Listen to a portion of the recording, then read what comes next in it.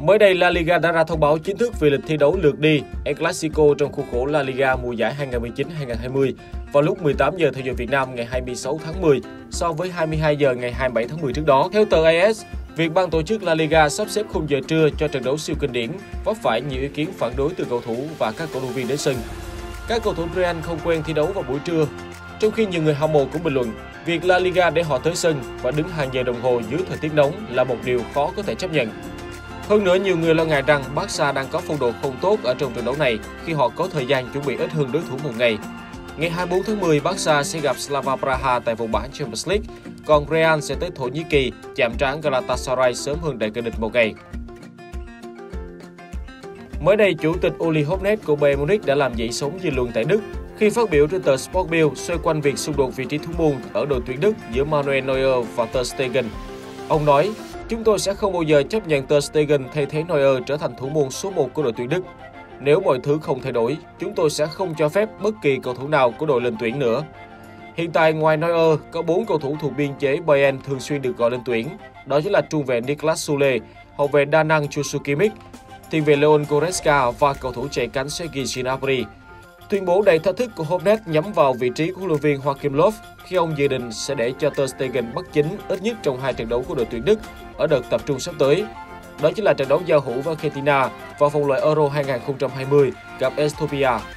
Đây được xem là một động thái xoa dịu Ter Stegen khi anh công khai bày tỏ mình bị đối xử bất công ở tuyển Đức khi liên tục ngồi dự bị, trong khi người cạnh tranh trực tiếp với anh là thủ thành Neuer lại không có được phong độ tốt nhất.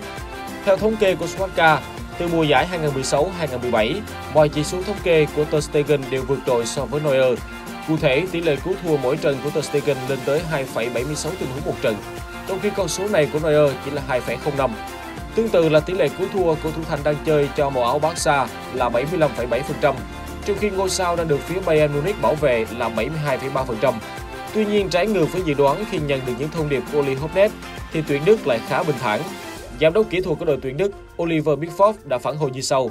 Theo quy định của FIFA, các câu lạc bộ sẽ phải có nghĩa vụ gửi các cầu thủ cho đội tuyển khi cần. Bắt đầu từ mùa giải 2021-2022, bóng đá châu Âu sẽ có thêm giải đấu mới mang tên Europa Conference League. Liên đoàn bóng đá châu Âu UEFA giải thích rằng European Conference League sẽ thi đấu song song với Champions League và Europa League. Bên cạnh đó, European Conference League sẽ mang tới cơ hội được thi đấu ở cúp châu Âu nhiều hơn cho các câu lạc bộ. Hiện tại UEFA vẫn chưa có thông báo chi tiết về thể thức thi đấu cũng như các đội bóng sẽ tham dự giải đấu này. Theo thống kê từ Opta Sport, Inter Milan đang là đội bóng có hàng phòng ngự tốt nhất Serie A. Tính cho tới thời điểm này, Inter Milan mới chỉ để thủng lưới một bàn trong trận đấu với Cagliari. Không những vậy, họ còn là đội đối mặt ít cú dứt điểm nhất khi mới 10 lần bị đối phương xứ trúng cung thành. Hiện tại với 5 trận toàn thắng, họ đang tạm thời giữ vị trí đầu tiên trên bảng xếp hạng. Hơn đội bóng xếp thứ hai là Juventus 2 điểm. Cuối mùa giải vừa qua, Andrea Barzagli đã tuyên bố chia tay Juventus và giải nghệ ở tuổi 38. Tuy nhiên mới đây, trang chủ của Bianconeri đăng một thông báo với nội dung chào mừng Barzagli chính thức quay trở lại mái nhà xưa để đảm nhiệm cương vị mới. Đó chính là trợ lý huấn luyện viên cho Maurizio Sarri. Cựu trung vệ sinh năm 1981 từng có 8 mùa giải khoác áo Juventus. Anh cùng với Leonardo Bonucci và Chiellini tạo nên bức tường phòng ngự BBC trứ danh. Tổng cộng anh giành được 8 Scudetto, 4 Coppa Italia, 4 siêu cúp Italia và 2 lần lọt vào chung kết UEFA Champions League cùng với đội bóng này. Vòng 4 League Cup hứa hẹn đầy hấp dẫn với những cuộc đụng độ của các ông lớn. Đầu tiên là cuộc tái đấu giữa MU và Chelsea. Mặc dù trước đó Man United đã có chiến thắng 4-0 trước The Blues, thế nhưng sẽ rất khó để họ tái lập thành tích này khi đội bóng của huấn luyện viên Frank Lampard đang có phong độ ổn định, trong khi đoàn quân của huấn luyện viên Ole Gunnar Solskjaer lại thể hiện một bộ mặt thiếu thuyết phục trong những trận đấu đã qua.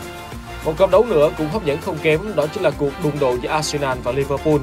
Người hâm mộ hy vọng được chứng kiến lối chơi tấn công cống hiến đầy tốc độ của hai đội bóng này.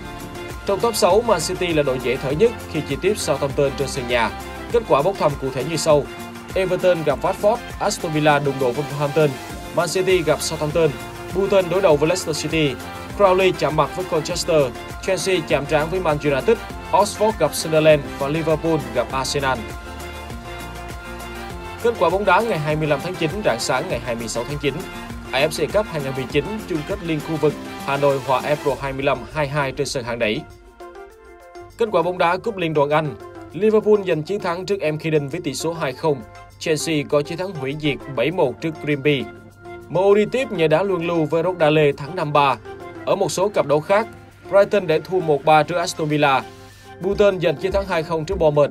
Oxford United có chiến thắng 4 sao trước West Ham United. Sheffield United để thua 0-1 trước Sunderland và Wolverhampton hòa Reading một điều. Kết quả bóng đá Tây Ban Nha La Liga vòng 6, Leganes hòa 1-1 trước Athletic Bilbao. Mallorca để thua Atletico Madrid với tỷ số 0-2. Valencia và Getafe hòa nhau 3 đều. Trong khi đó, Real Madrid giành chiến thắng 2-0 trước Osasuna qua